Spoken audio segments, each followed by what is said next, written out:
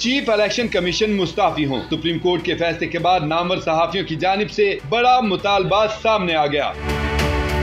Senior anchor person Naseem Zahra ने X पर रद्द अमल देते हुए कहा कि इंसाफ हुआ, आइन को बरकरार रखा गया। ईसीपी का गैर मंतकी कदम और तेरह जनवरी के फैसले के तबाहकुन असरा सबको आठ ऐसी पाँच की अक्सरियत ऐसी तब्दील कर दिया गया। पीटीआई अब वापिस आ गई है क्यूँकी तहरीक इंसाफ सुन्नी थाद कौंसिल का लेबल लगाकर सतहत्तर इजाफी सीटें हासिल कर रही है। हुकूमत दो तिहाई अक्सरियत खो चुकी है। अब सूबाई और विफाकी हुकूमतों में तब्दीलियों का इम्कान है। हुकूमत की जानब ऐसी इस फैसले के खिलाफ अपील दायर करने ऐसी इस फैसले में तब्दीली का इम्कान नहीं है सीनियर सहाफी मोहम्मद मालिक ने लिखा कि अगर चीफ इलेक्शन कमिश्नर की थोड़ी सी भी इज़्ज़त बाकी है तो सुप्रीम कोर्ट के आज के फैसले के बाद वो इस्तीफा देकर मुद्दत से पहले घर चले जाएँ।